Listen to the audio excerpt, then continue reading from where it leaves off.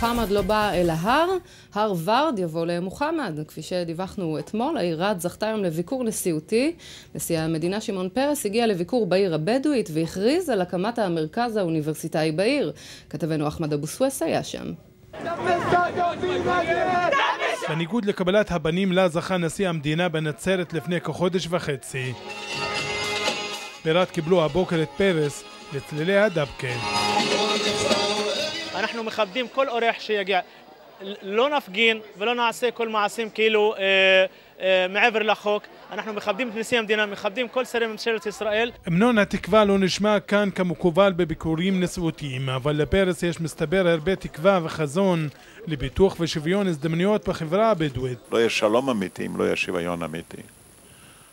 ואני חושב שהבדואים, במקום כל מיני האשמות שמטילים עליהם, יכולים להיות גשר נהדר לשלום. הוא אה, בן אדם ממלכתי, הוא יכול גם לדבר עם שרים, הוא יכול גם לדבר עם ראש הממשלה, הוא אין לו סמכות, אלא גם בשכנוע, ואני סומך עליו, יש לו ראש גדול באמת בשכנוע, ויש לו לב טוב.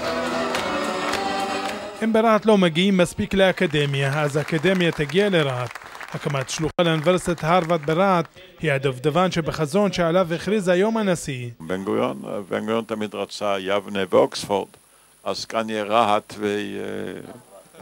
והרווארד, תחליף לא רע. ומותר לחלום גבוה. בהרווארד מקבלים שם פרס נובל לשלום או מדעים. אני רוצה שגם במחלה הזאת מישהו שיקבל פרס נובל. לא כל יום יורד הנשיא לסיור בנגב. ראשי המועצות ניצלו את הביקור ועלו בפניו את המצוקות שהם פוגשים בצמתים רבים בדרך. היום תושבי הדרום מעוכבים בצומת להבים כל יום בבוקר ואחר הצהריים. כולם צריכים במשהו לוותר, זה ברור. אבל הנגב הזה חשוב מדי בשביל שאנחנו אה, נוכל לוותר עליו לטובת מלחמות. אני מאוד חוששת ממה שקורה פה מתחת לפני הקרקע.